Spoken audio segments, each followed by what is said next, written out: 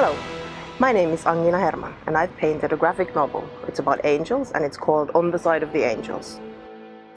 Who wouldn't want to be on the side of the angels? They have so many sides.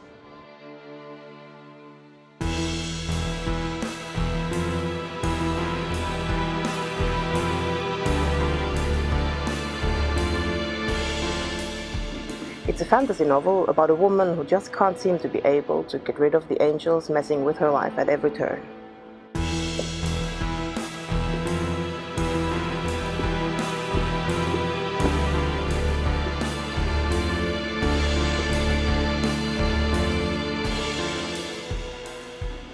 Like I said, it's a fantasy. It's not an autobiography. It really isn't.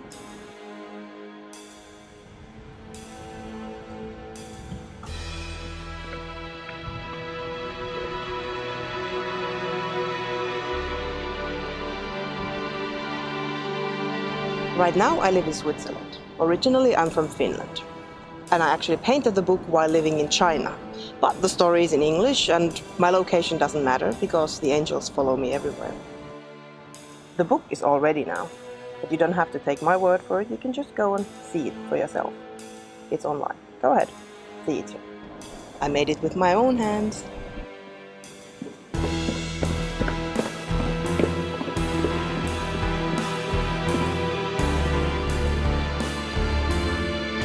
What I want to do now is to print the book. I want to see the finished product. I want to feel it with my own little hands.